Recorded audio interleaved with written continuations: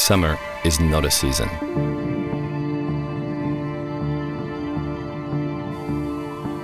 It's a state of mind. Finding its own time and space. Golden. Somewhere between tomorrow and the days gone by.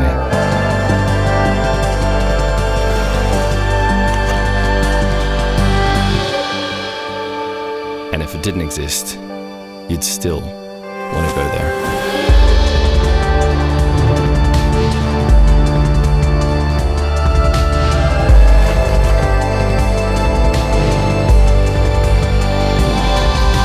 Find your golden state of mind at Coco Republic, Australia's most iconic furniture, now living in California.